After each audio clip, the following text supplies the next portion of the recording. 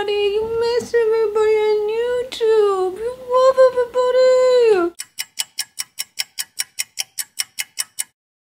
Are you turning guys off? I might be, but I'm not sure. I'm gonna take a quiz on 17.com. 17 is a magazine which is kind of like a precursor to Cosmo, which lowers teenagers' self esteem and really prepares them for a life of hating themselves and trying to fix themselves through makeup techniques. Let's do it, let's do it, let's, where is it? Wait, where's the quiz? A guy at school tells you he wants to go out on a date and you both exchange numbers. What happens next? You wait a few days to give him a call and ask him to hang out. You text him immediately to find out the details of the date. You wait for him to contact you with plans. I'm gonna say I text him immediately to find out the details of the date. I'm a busy person. I'm not being too aggressive. I'm just trying to schedule my life. Thank you. What's the one thing you always try to change about your boyfriends? Oh, everything. His clothes. Guys always need a little help with that the amount of time he spends with his guy friend, his limited taste in music, his clothes. Most men just don't understand clothes and fashion because they weren't born with the part of the brain that lets them know what things look good on them and, and things like that. That's like a, a woman thing. A woman was born with that part of the brain. Which of these three movies is your favorite? Fast and the Furious, Hannah Montana, the movie, Twilight. What do you usually wear to school?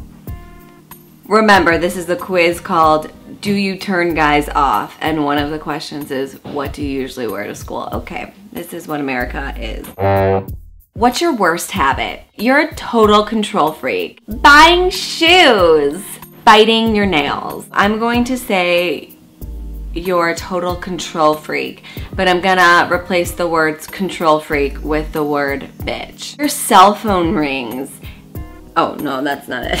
Oh my god, more questions, Jesus. You're trying out a new trend at school and a girl in your class tells you she's not into that trend.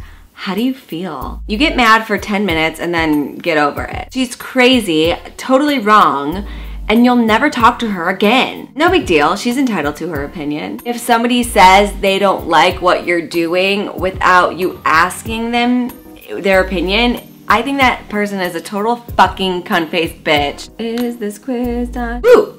Oh. Boo! Oh. Boo! Oh. Guys are trying to avoid you. Okay, well, I didn't need a fucking internet quiz to tell me that. I already knew that. Boys like a little mystery from girls, but your constant texting, calling, and wanting to hang out with him just makes him want to see you less because he feels completely overwhelmed. I hate this, but also this is kind of true.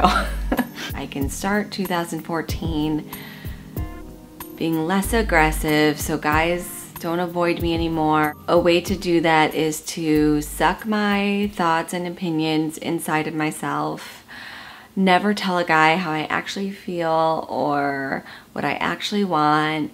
And instead of communicating with that person, write it in a diary and stick it under my pillow.